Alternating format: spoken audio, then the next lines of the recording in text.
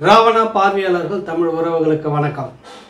தமிழகத்தில் ஒரு விஷயம் பரபரப்பாக போயிட்டு இருக்குது சொத்து வரியினுடைய அந்த மதிப்பீடு வந்து நூற்றி ஐம்பது சதவீதம் வந்து உயர்த்தியிருக்கிறது திமுக அரசு அப்படின்றது தான் பிரதான எதிர்க்கட்சி அதிமுக வந்து சொல்லிட்டு இருக்கு கடந்த அதிமுக ஆட்சியில் வந்துட்டு ஒரு ஐம்பது சதவீதத்திலிருந்து நூறு சதவீதம் வரைக்கும் சொத்து வரியை உயர்த்தணும் அப்படின்னு சொல்கிறப்ப திமுகவுடைய எதிர்க்கட்சி தலைவர் அந்த ஸ்டாலின் அவர்கள் வந்துட்டு இது சொத்து வரி அல்ல சொத்தை பறிக்கும் வரி அப்படின்ற மாதிரி பெரிய விமர்சனம் செய்து ஆர்ப்பாட்டம்லாம் நடத்தியிருந்த அந்த வரலாறு நிறைய தெரியும் அது. இப்போ இவர்கள் நாங்கள் ஆட்சிக்கு வந்தால் இதெல்லாம் இருக்காது என்று சொன்னவர்கள் வந்த பிறகு அதெல்லாம் நடந்து கொண்டிருக்கிறதுன்றதுக்கு இது ஒரு உதாரணம். உள்ளாட்சி தேர்தல் முடிந்த உடனே வந்து பார்த்தீங்கன்னா அந்த சொத்து வரி மதிப்பு மதிப்பை வந்து நூற்றி ஐம்பது சதவீதம் வந்து கூட்டி போட்டிருக்கிறாங்க. இப்போ மிகப்பெரிய அளவில் இது நடந்திருக்குது ஒரு பக்கம். இப்போ டெல்லியில் ஐந்து மாநில தேர்தல் முடிஞ்ச உடனே பாரதிய ஜனதா கட்சி ஆட்சி என்ன செய்திருக்குதுன்னா சிலிண்டர் விலை கேஸ் சிலிண்டர் விலை ஏற்றிடுச்சு பெட்ரோல் விலை டீசல் விலை எல்லாமே வந்துட்டு குதிரை வேகத்தில் வந்து இல்லாமல் பைக் வேகத்தில் வந்து ஏற்றிட்டு இருக்குது இதில் போட்டி எந்த அளவுக்கு விரைவில் மக்களை வந்துட்டு நசுக்கி பிழிய முடியும் அப்படின்ற அளவுக்கு இருக்குது எந்த இது இது எப்படி சொல்லணும்னா இலங்கையில் ஆட்சியை இழந்து த- பரித அந்த ஆட்சி இழப்பு நடந்து பரிதவிப்பில் இருக்கக்கூடிய கோத்தபய ராஜபக்ச சொல்லக்கூடிய விஷயம் என்னன்னாக்கா இலங்கையை விட இந்தியாவில் இரண்டு மடங்கு விலைவாசி உயர்வு இருக்கிறது. அந்த மக்களை எல்லாம் பாருங்கள் எவ்வளவு அமைதியாக இருக்கிறார்கள். காரணம் அந்த இந்துத்துவ ஆட்சி இந்துத்துவ மக்கள் அப்படின்ற அந்த அந்த அந்த பொறுப்புணர்வோடு அங்கே இருக்கிறாங்கன்ற மாதிரியான வார்த்தையை சுட்டி காட்டுறாரு. இங்கே வந்து நீங்கள் எந்த அளவுக்கு செய்கிறீங்களேன்னு சொல்லிட்டு அந்த மதத்தை சொல்லி பிரித்து ஆளக்கூடிய ஒரு சூழ்ச்சியை வந்து செய்கிறாரு அது எந்த அளவுக்கு இலங்கையில் ஈடுபட போகிறதுன்றதெல்லாம் நம்ம போக போக பார்ப்போம். இப்போ இங்கே என்ன நடக்குதுன்னா இந்த சொத்து வரி ஏற்றின உடனே வழக்கம் போல் மத்திய அரசு கொடுக்க வேண்டிய நிதி பதினைந்தாவது நிதி குழு நிதி எங்களுக்கு வரல. அதனால தான் வந்துட்டு எங்களால் சொத்து வரி இப்போ ஏற்றக்கூடிய சூழ்நிலை இருக்குது. மத்திய அரசு தமிழ்நாட்டிலிருந்து அதாவது தமிழ்நாட்டிலிருந்து மத்திய அரசு எல்லாமே இந்த ஜிஎஸ்டி வரியெல்லாம் வசூல் பண்ணி மத்திய அரசு வச்சுக்குது. அங்கேருந்து எங்களுக்கு கொடுக்க வேண்டியது ஒன்றும் கொடுக்கல. அப்படின்னு. கடந்த ஆட்சியில் இதே விஷயங்களை அதிமுக சொன்னபோது அதை வசூல் செய்யறதுக்கு துப்பு இல்லாமல் அரசு எதுக்கு இருக்கணும்? போராடி வாங்க வேண்டியதானே அப்படின்னு சொல்லிட்டு எல்லாருமே பேசினாங்க. குறிப்பாக இடதுசாரிகள் திமுகனுடைய கூட்டணியில் இருக்கக்கூடிய எல்லோருமே அப்போ ஒரு பெரிய வாசிப்பு வாசித்தார்கள். நல்ல நல்ல ராகத்தில் பாட்டுலாம் வாசித்தாங்க அதை.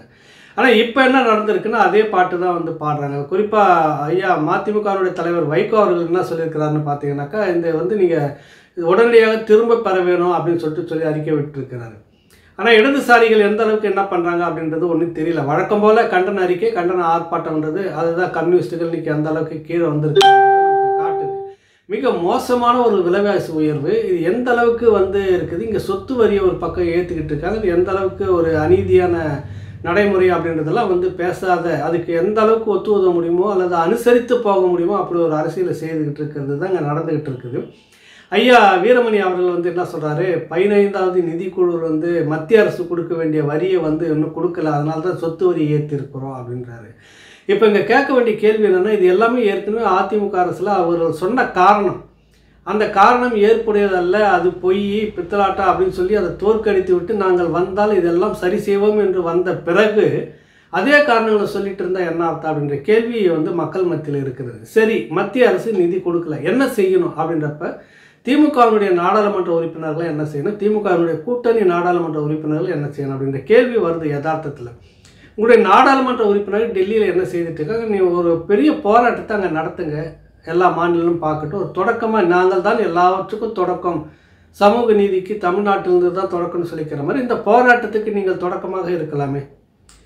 இப்போ ஒன்றிய அரசுன்ற அந்த அனுசரணையோடு போய் நீங்கள் பேசி அந்த மாதிரி எங்களுக்கான நிதியெல்லாம் வேணும்னு சொல்லிட்டு பிரதமர் மோடியை சந்திச்சுட்டு வந்திருக்கீங்க. முக்கியமாக திமுகவினுடைய அந்த கட்சி அலுவலகம் டெல்லியில் திறக்கும்போது பாரதிய ஜனதா கட்சி நிர்வாகிகளோடு அந்த தலைமையோடு போய் சந்தித்து பேச்சுவார்த்தை நடத்தி கட்சி திறப்புக்காக அவங்களாம் அழைக்கிற அந்த விஷயத்துக்காக மோடியை சந்திக்கிற அந்த நிகழ்வு நடக்குது. ஒரேடியாக எல்லா வேலையும் பார்த்துட்டு வரலான்றப்ப இல்லை என்றால் நாங்கள் என்ன எதிர்த்து ஒரு அரசியல் செய்வோம்னு இது வரைக்கும் சொல்லவே இல்லை.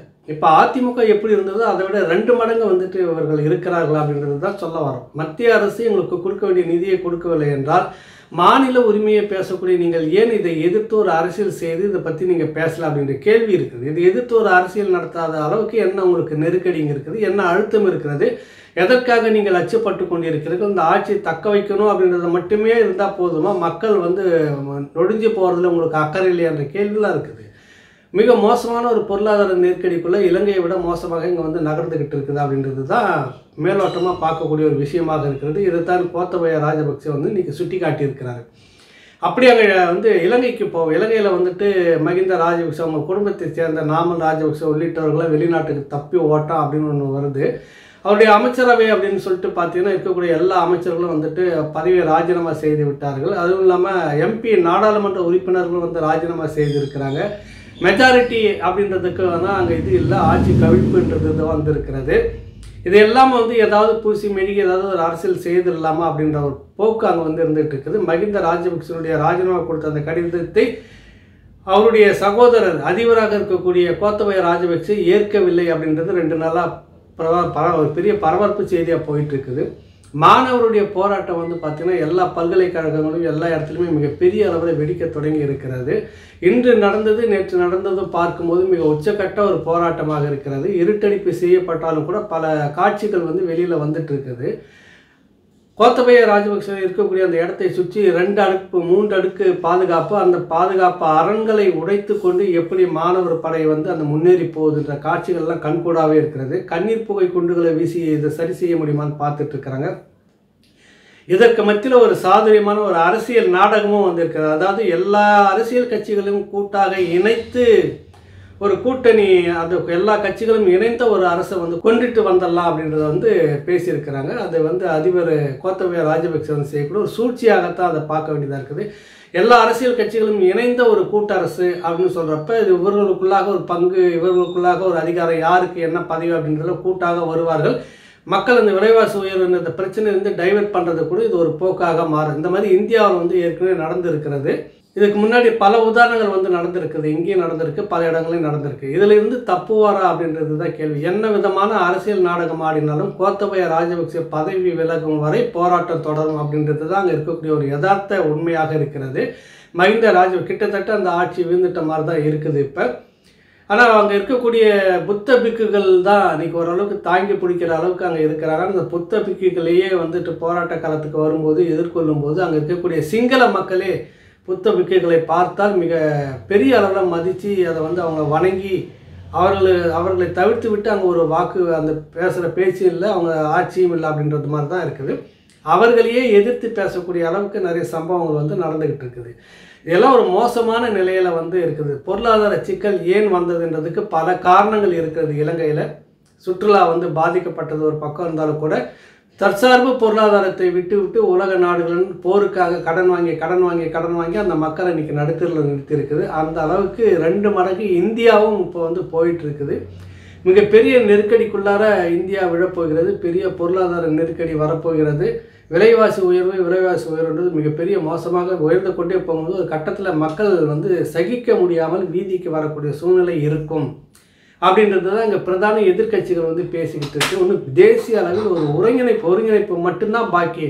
மற்றபடி பெரிய அளவில் அதிருப்தி குரல்கள் வந்து இருந்துக்கிட்டு இருக்குது. தேசியத்தில் இருக்கக்கூடிய பாஜகவுக்கு சரி இங்கே இருக்கக்கூடிய திமுகவுக்கு.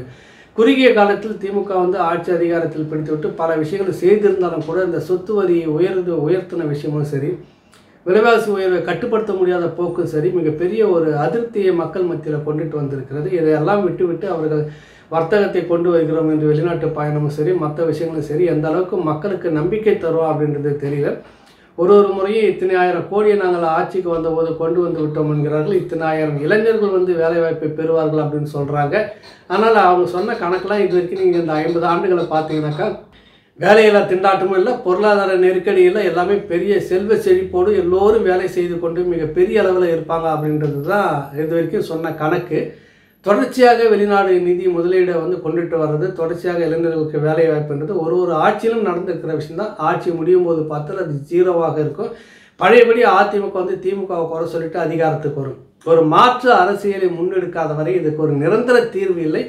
இந்த இவர்கள் அதிகாரத்தில் இருக்கும்போது எதிர்க்கட்சி சொல்லக்கூடிய வார்த்தைகள் இவர்கள் எல்லோரும் கொள்ளைக்காரர்கள். அது டெல்லியில் இருக்கக்கூடிய பாரதிய ஜனதா கட்சிக்கு எதிராக இருக்கக்கூடிய காங்கிரஸ் கட்சியாக இருந்தாலும் சரி இங்கே திமுகவுக்கு எதிராக இருக்கக்கூடிய அதிமுகவாக இருந்தாலும் சரி.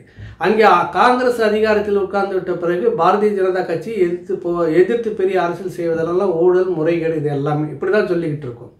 இங்கே திமுக அதிகாரத்தில் இருந்துட்டு எதிர்க்கட்சியாக இருக்கக்கூடிய அதிமுக சொல்லும் அதிமுக அதிகாரத்தில் இருக்கும்போது திமுக அப்படின்னு ஆக இவர்களுக்கெல்லாம் ஒரு மாற்று அரசியல் வந்து தேசிய அளவிலும் மாநில அளவிலும் வரும்போது தான் மக்களுக்கான ஒரு அரசாக இது அமையும்.